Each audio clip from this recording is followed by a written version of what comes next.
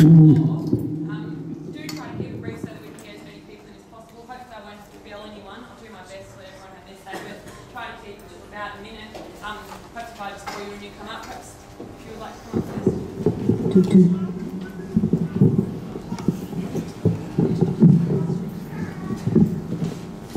Minister, um, my Isabel Kirkbride. I've lived in Alice Springs for 10 years and I have three children. And I'm the founder and representative of Families for the Nuclear Free Future. Um, we're a community network which is strongly opposed to any exploration or mining in our town or Central Australia, especially Angela Pamela. We are, we are 200 strong of members since last November, so it's only a few months ago and we are actively encouraging citizens to have an informed voice about this issue. We're well informed about the uranium mining industry, the horrific health risks, the social impacts and environmental risks, and we are very aware of Cameco's disastrous track record. How do we as families against the nuclear industry stop uranium mining companies from coming into our town and threatening our families and children? That's my question to you today. Isabel, my name is Kon, is not minister, so you can call me Kon. Second is that uh, I said to you before, and, and that's my commitment, we will not allow money that will have a detrimental effect on the environment or have a social impact on areas. Um, how are you going to stop? Uh, well, you're a you start a group, you're community group, Vocal One. I will urge you to continue your activities. Oh, thank you. Uh, certainly. Uh, and I would like to remind you too that I'm here to listen to your opinion, and certainly I will be going out to listen to other people's opinion. Uh, and uh, I want to be well informed before I form an opinion and put a recommendation to the Minister in the federal government. We're well informed on the facts. We've been doing a lot of research internationally on Cameco, and um, we won't tire of this because we don't want to leave town and we don't want to put our young children's lives at risk, and we know the risks. So we need you to do whatever you can to stop this process now.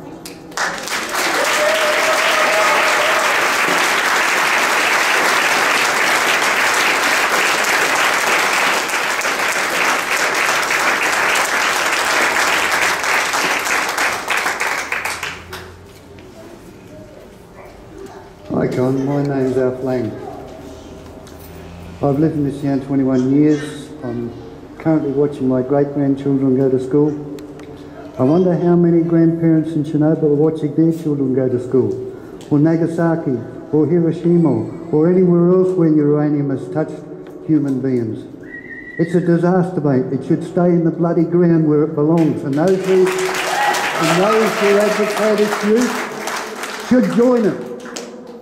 Now, in actual fact, with a lot of research that has been going on into geothermal, why don't these companies put their money into something that which will be of a benefit to humanity rather than kill them? Thousands of men gave their lives flying helicopters, dropping concrete onto Chernobyl to try and stop a complete meltdown and what is known as the China syndrome. Those men gave their lives willingly. The bastards at the top who supplied the money and were getting all the money rip off and the profits from the Chernobyl powerhouse, were they there shoveling concrete? Not bloody likely. Now we don't want that sort of garbage here in Alice Springs. We do not want to have the world's uranium dump plastered here in the Northern Territory. Thank you, Kon. Thank you, Alf.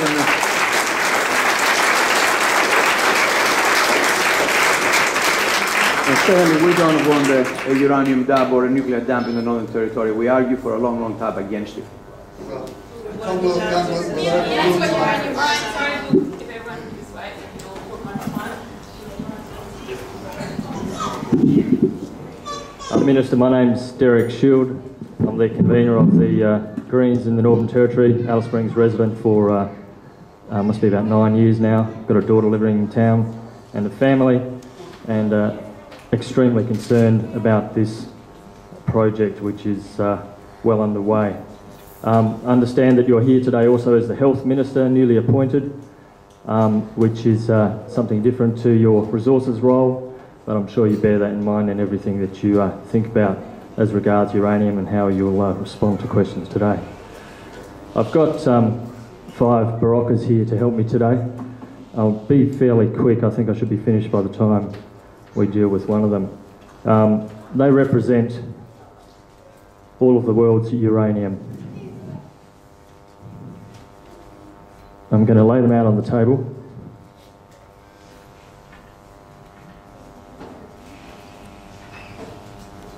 And I'm going to drop one into this glass of water. One fifth of the world's uranium, which is pretty close to 17.5% of the world's uranium, only 2.5% off.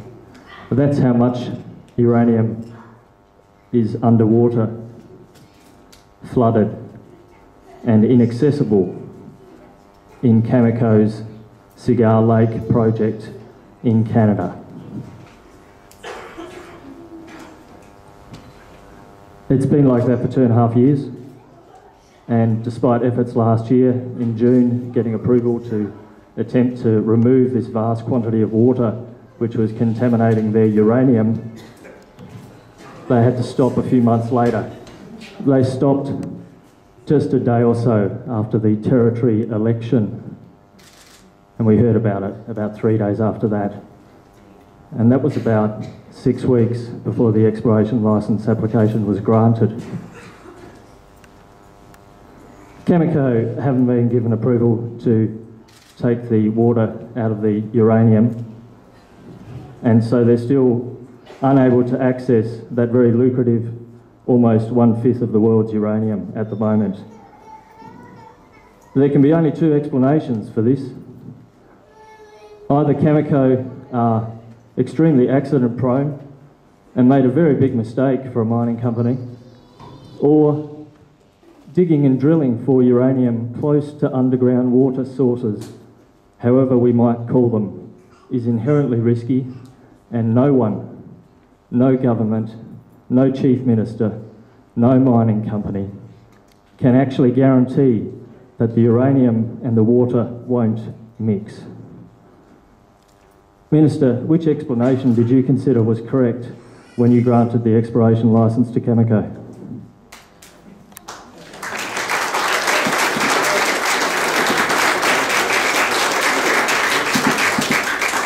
Well, I don't know what Cameco did in Canada, how stupid they were in Canada. Let me tell you something. Uh, sorry, Minister, are you saying that you didn't consider what Cameco did in Cameco when granting the exploration licence? Well, just let, Did you grant a license to a company you know nothing about? I don't think it's relevant. Pretty much the news.